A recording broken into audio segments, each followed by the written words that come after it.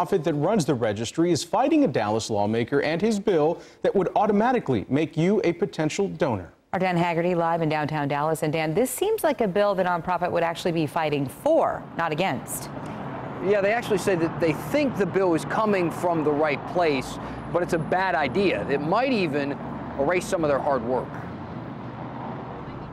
A proposed bill by State Representative Jason Villalba from Dallas would automatically register Texans as organ donors unless they decided to opt out. I don't think you can force people to donate their organs. Like, that should be a choice. The choice now looks like this when you get your driver's license, simply asking, would you like to register as a donor? The new question would be, would you like to refuse to join the organ donor registry? If you answer no or don't answer at all, you've just given consent to be an organ donor. You would forget, and then if those weren't your wishes, then your your organs would be donated, and you didn't want to do that.